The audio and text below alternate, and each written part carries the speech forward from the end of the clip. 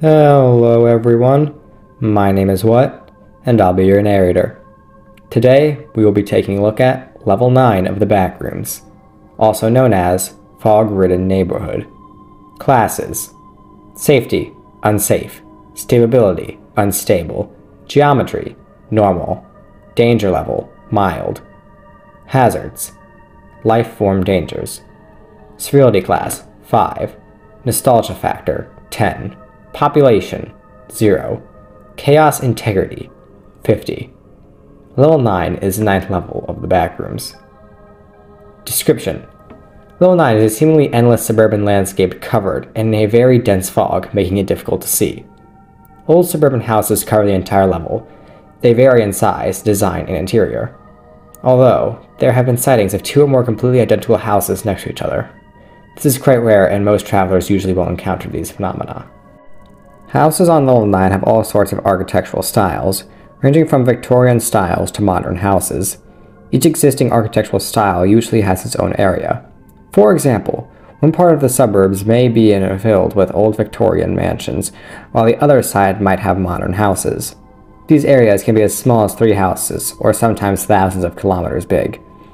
The layout of level 9, while mostly flat, there are some areas that are quite hilly.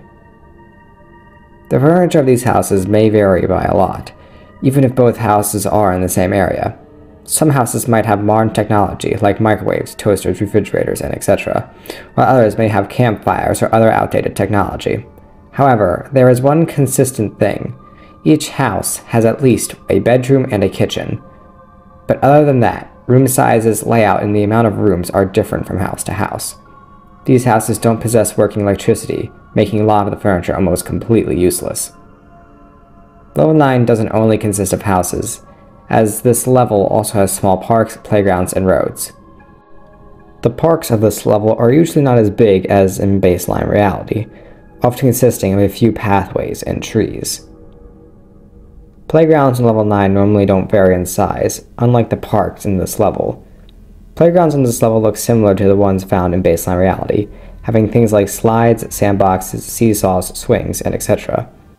The playground itself looks mostly abandoned, and shovels or buckets may lay scattered across the playground. These shovels are generally in very critical condition and will completely snap in two after a few uses. The roads of this level are most of the time extremely moist from the fog, making these roads slippery and sometimes dangerous to run across.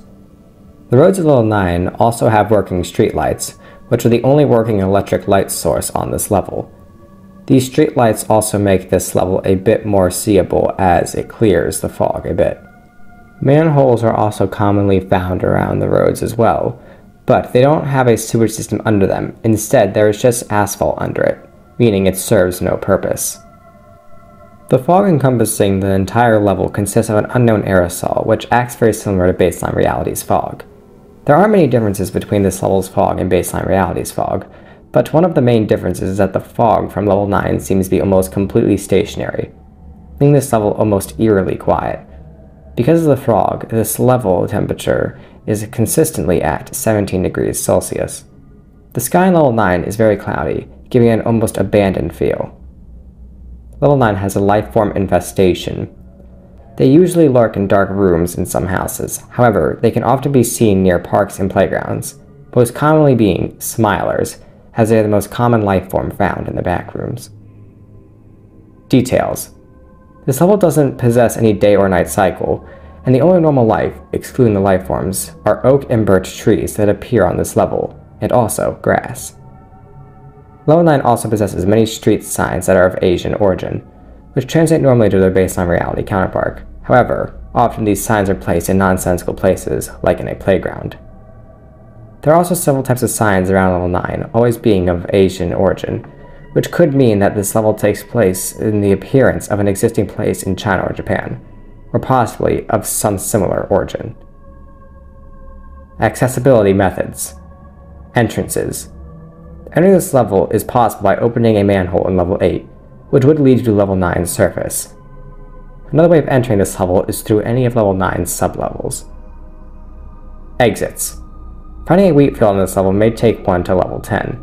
However, these fields are hard to find. Going through the fog, you can follow a set of signs. which will lead you to level 11.